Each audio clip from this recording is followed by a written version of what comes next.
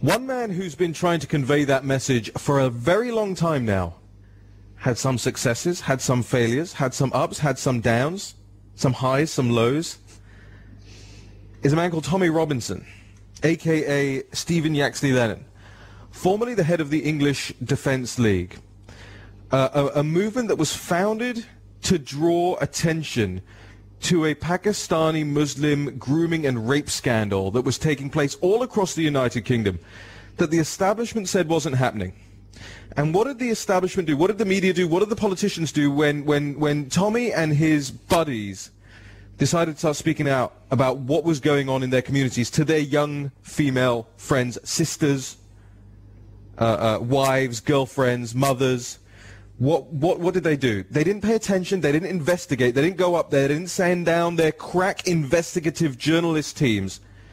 They pointed fingers at Tommy and called him far-right racist, extremist, xenophobe, bigot, etc., etc. All the things, by the way, that you guys get called. And I think now they have one word for it. It's deplorable, right? But Tommy, I'm glad that you're joining us here today, uh, live in London, because, and by the way, we, we, we didn't get on a plane because of what the president tweeted yesterday. We just so happened to be here at the same time. And you're somebody not not just who knows about this issue and who's been through all this, and you even went through your own sort of reckoning with yourself and with your old movement. But you've also dealt with Britain First before. You've sat down with these people, you've interviewed these people, you've been to their rallies, their marches, you've you've seen the types of people they're attracting. So let's let, us let us start off with this. And by the way, Tommy's got an excellent book you should get. It's called Muhammad's Quran, and we're going to talk about that in just a moment. Muhammad's Quran. It's a, it's it's it's just this fantastic compendium of everything that's in the Quran that you don't get to hear about. And you want, guys, ladies and gentlemen out there, you want ammunition when you talk to your friends, to your family members, Thanksgiving, when you talk to your politicians, your legislators about this stuff, and they say you're a kook, you're crazy, you don't know what you're talking about. Give them a copy of Muhammad's Quran. Set them straight. Tommy, thanks for joining us. Oh, thanks for having me on. Okay, first things first. Are you are you a a, a bigot, uh, ethno nationalist, extremist, racist, xenophobe? Of course I'm not. Those, those words have come you're, you're, sta you're, you're, standing uh, uh, uh, next to a, a, a, brown man born into a Muslim family. Do you want to uh, ball your fist up and punch me? is that is that is that is that what they're trying to tell us? No, this the this is the problem. They couldn't be further from the truth, and everyone knows that. You know where I'm from, Raheem. I'm from Luton Town. Luton is one of the most diverse and multicultural towns in Britain, in Europe, in Europe actually. So I've grown through. I've watched the Islamic takeover of my town, but I'm also from a town full of immigrants. My mother was an immigrant to the UK, an Irish immigrant. Most of my friends are sons of immigrants, be it St. Lucian, Jamaican, Italian, Bulgarian. We're all sons of immigrants. Mm-hmm. I've watched and seen the problems. The problems don't come from different cultures coming into our country. They don't come from Sikhs coming into our country, Jews coming into our country.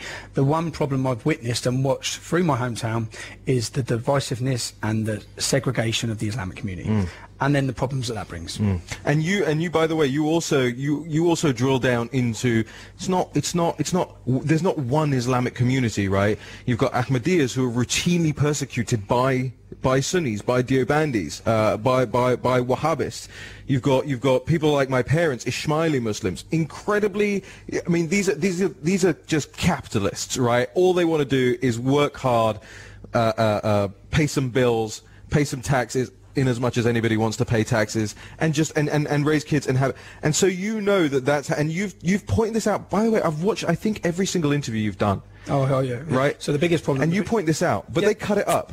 And no, they, they, don't let you talk. They cut up, and we, they continue, like they're saying out, anti-Muslim tweets, mm. anti-Muslim. I don't talk about Muslims. Mm. I talk about Islam. Right. I talk about the ideology, the scripture, the book. I talk about the Prophet Muhammad. I talk, or the, the false Prophet Muhammad. I, I, talk about him. And I talk about, and when we look at different sects, yes, you're right, Salafists, Wahhabis, Deobandis. Deobandis are the fastest growing sect in the UK. You just, by the way, you just committed a hate crime live on air. Of course. The false prophet Muhammad, by the way, ladies and gentlemen, can get you banged up here in the United, can get you locked up here in the United Kingdom for saying, I'm genuine. That's Islamophobia as far as the establishment's concerned. No, you're right. You're right. Speaking about this issue is Islamophobia. Yeah. That's it. Knowing too much about this issue, issue means you're Islamophobic. Yeah. Jayda Fransen, the girl in question at, at the moment, she's facing a charge in Northern Ireland Mm. for speaking about this issue. I watched her. I watched her speech. Have you watched her speech? No. No, I watched her speech that she's faced, faced arrest for. And do you know what it is? I, I faced nine years of harassment, persecution, and arrests Mm. for speaking about Islam.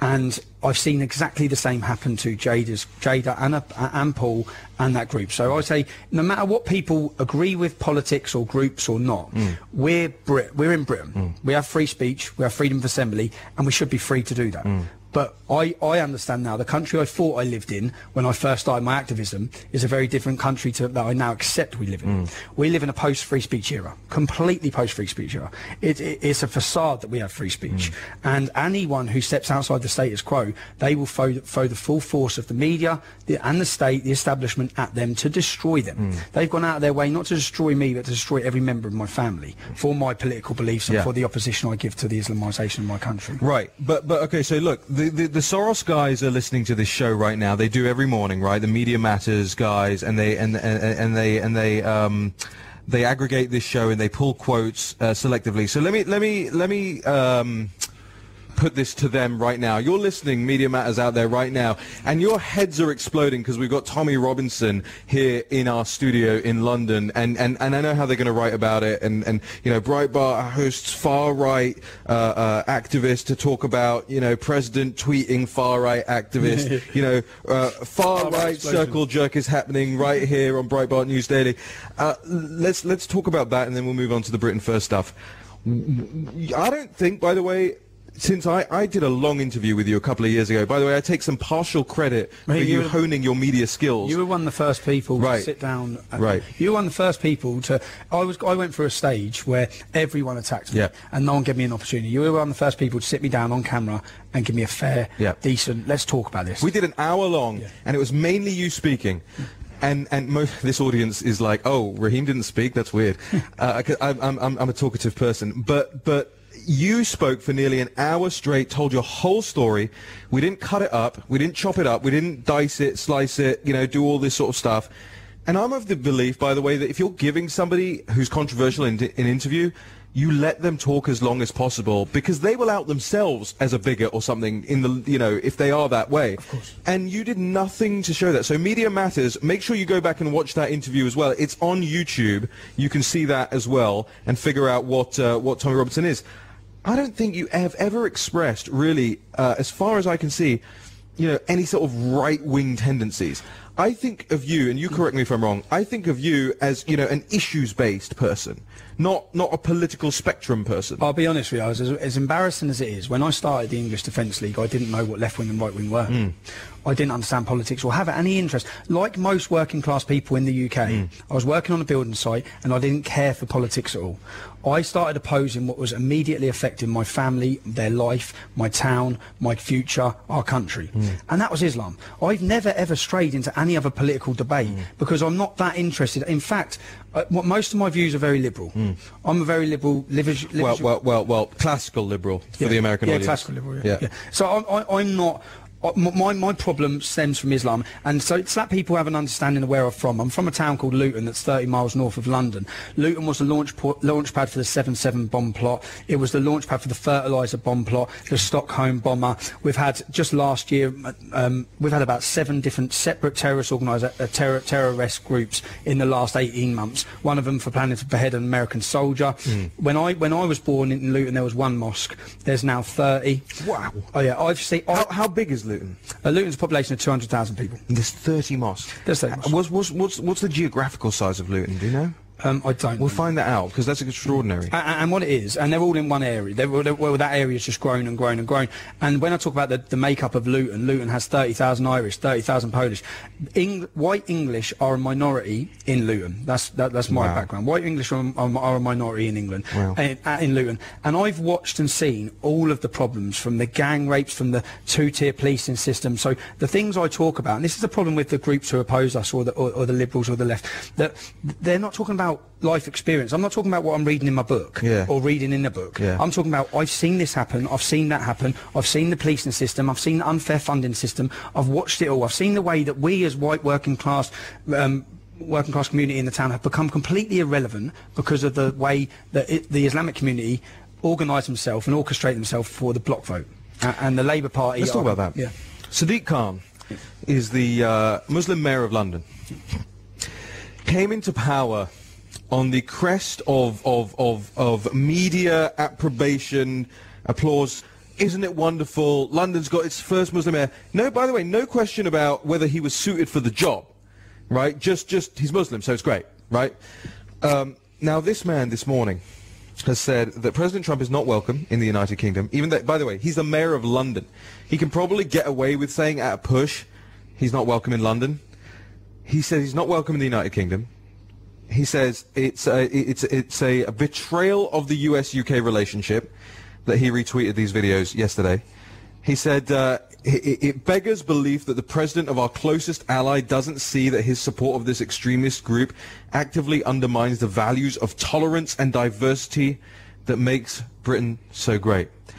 If that isn't out of the George Soros handbook, I don't know what is, by the way. It's funny you say because I actually been going through the politicians. For example, David Lammy, who's a who's a black politician in London, he's come out saying exactly the same. He's not welcome in his country in his city.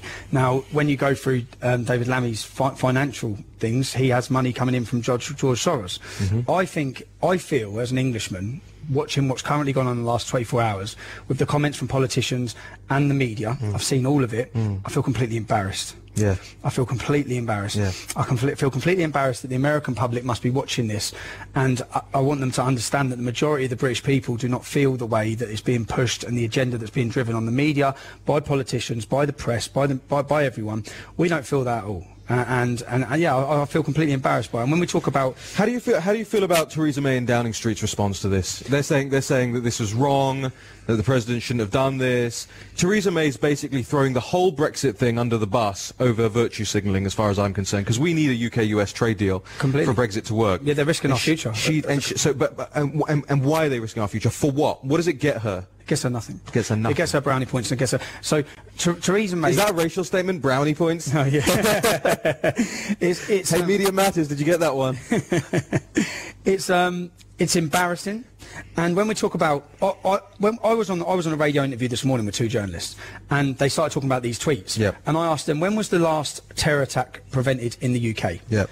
And they both said they don't know. Yeah. I said, well, let me tell you when it was. It was prevented two days ago. Wow. Okay. Two days ago, after a man in London and a man in Birmingham were arrested, they were arrested in the la- later preparations of a terrorist attack. Do we know what they were, what they were trying to do? No, it's a at? sophisticated. All we know is come out. It's a sophisticated attack. Wow. Now, when you hear that, so I say, why, why is the rest of our country not up in arms Mm. about that? That's happening every week. In the last seven months, we've had four terrorist attacks, killing children, um, stabbing women in their throat in restaurants, Mm. lorry attacks. That's in the last seven months. We've had eight. Eight attacks prevented in the last seven months. Mm. Now, rather than being on the high horse or Theresa May sh- talking about this and Mm. talking about stopping this, we're talking about tweets which showed videos of evidence. You know, when this come out and we, we keep hearing that it, we, we, from the media, they say uh, Jayda Fransen alleged the man was a Muslim. Mm. This is the man who's got the Virgin Mary's trophy. It took me five minutes to verify where that video's from. Wow. And then it took me another five minutes to translate everything the man's saying. Wow. Now, the man's saying that I'm doing this for Islam, for Allah, for the takeover, because they're idolaters, because it's Christianity. Mm. This was in Syria. So it took five minutes, but yet our media still say Jayda Fransen alleges he's a Muslim. Mm. No, he is a Muslim. And yes, they were Muslims and they were throwing people off the rooftop because they were moderates, because of the Muslim Brotherhood. And the reason why that's more relevant is that Barack Obama supported that, that supported the implementation of the Muslim Brotherhood in Egypt. So this was an uprising in 2013 that Donald Trump has retweeted, Mm. where your previous president was part and parcel of the reason those men were being thrown off the rooftop. And, and it, by the way, this is not conspiracy theory, right, ladies and gentlemen? The These are facts. U.S. State Department under Hillary Clinton and with Barack Obama as president assisted the Muslim Brotherhood, not just there, by the way, not just in Egypt, all over North Africa, Middle East, in the United States of America as well. The Council on American Islamic Relations, Barack Obama literally went to Cairo and quoted from their press releases. This is a Muslim Brotherhood organization. That was your last president. So if you want to ask me the question, do I would I rather the United and I realize it's an English voice saying this, ladies and gentlemen, you'll forgive me. Would I rather the United States have a president that retweets something that two out of three are right and one is a wrong video. Is it a wrong video? The Dutch one, I think, is. But he is still he's a son of a migrant. What's wrong? Because all I'm hearing at the minute, there's no. Uh, They say they say they, they say it was a Muslim kid attacking a non-Muslim kid. I don't think there's any evidence for that. There's no evidence for it. Is there any evidence countering that? Is there evidence to I, say that he's I, not I, Muslim? I believe there is. Is there? I believe there is, and and we're getting we're getting We're into getting it on Breitbart London at, the, at this point in time, and some other organisations are digging it. But even so, let's let's take two thirds right, okay? As as as as my favourite band Fall Out Boy would say, two out of three ain't bad. You're asking me to pick a president that does that versus a president that emboldens a group that should be globally designated a terrorist organization that wants to overthrow Western civilization. You want me to pick which president I prefer? Guess which one I'm picking. I, I, I, I think what Donald Trump has done here has shone a massive torch again, which everything he does, I feel, does this, into the hypocrisy and what we're up against. He, ret- he retweets, so our, our Prime Minister watches a video of men being thrown off a rooftop, of a Virgin Mary being smashed on the floor, and a hmm. young boy being beaten up, hmm. and she's talking about the far right. It's- And- it's- and- and- so let's so, so, so tell me about let's go, let's take a call. All right, let's go to line one. Dave in uh, in in Pennsylvania. Dave, good morning. Good morning, Raheem, and all you guys there. Hey, uh, the thing I don't really like about all this immigration of the Islamic countries is they're not here to assimilate; they're here to dominate.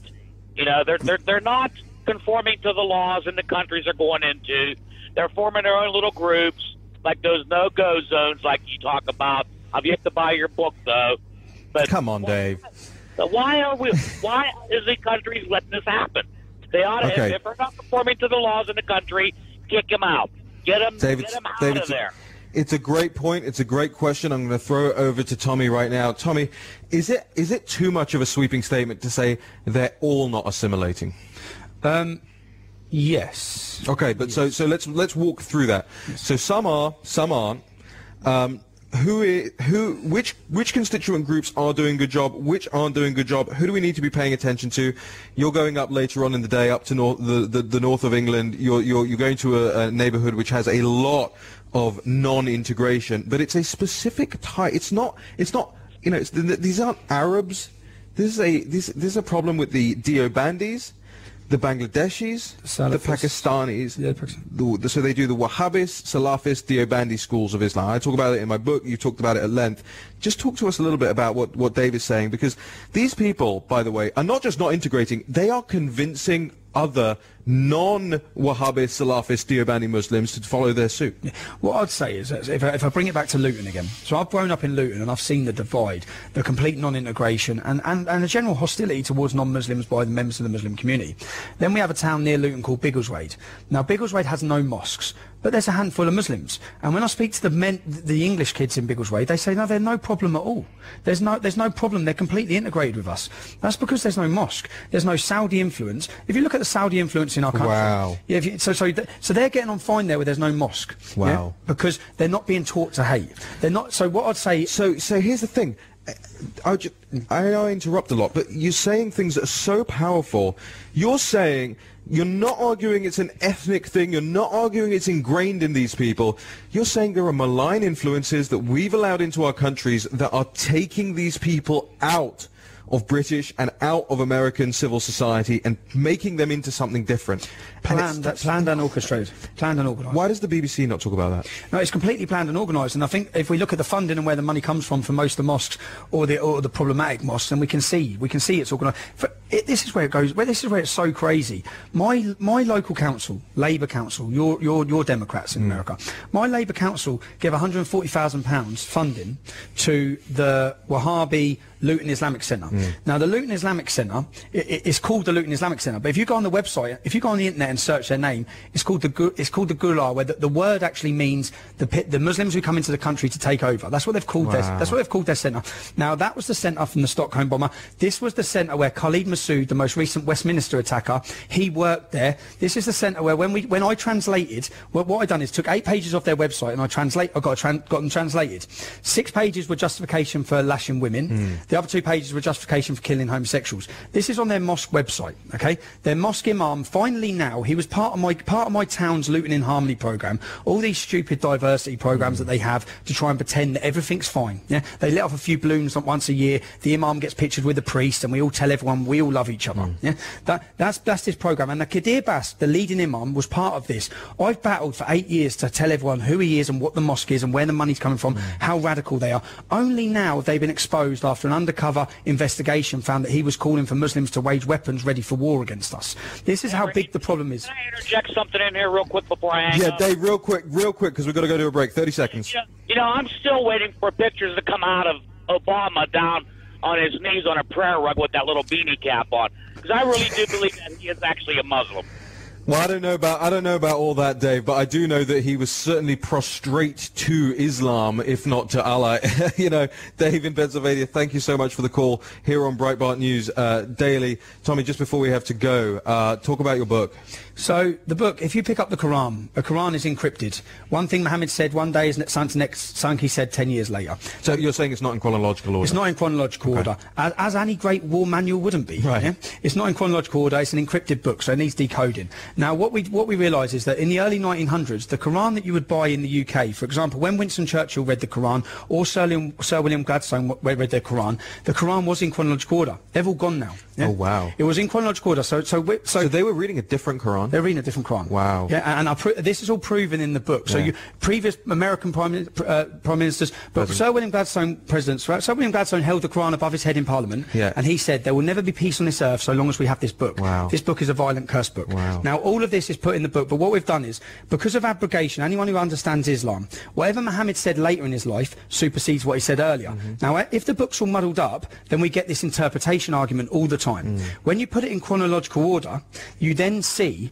that uh, uh, uh, what we've done is we've worked through. So when you get to the peaceful verses, which are now at the back of the Quran, because in Muhammad's first ten years of his life, he was very peaceful, Mm. and, and that's when he that's when the peaceful verses are from. Then he introduced piracy, war, rape, murder, jihad, Mm. and that's where all the extreme verses from. Now, when it's put into chronological order, when you get to the peaceful verses, we've literally put a little line through them, and it tells you which one abrogates them. So then you can. It's the first book that you can look through, and you uh, you can then understand the context of Islam. Because when we've done it back to front, uh, the first page, and it's a full Quran along with the introduction. That when you get to the first page of the Quran, it's, it's basically kill them. The last thing Muhammad said, Surah 9:5, kill the non-Muslims wherever you find them. Wow. Tommy Robinson, we've got to leave it there. I wish I could talk to you all day, and I'm sure the audience feel very similar about it as well. That's Muhammad's Quran, by the way, that you can pick up on Amazon, You can pick up on TommyRobinson.com. or. Muhammad's Muhammad's Quran, yeah, Muhammad's hyphen Quran. And, uh, and uh, we will be right back here on Breitbart News Daily, live from London in the United Kingdom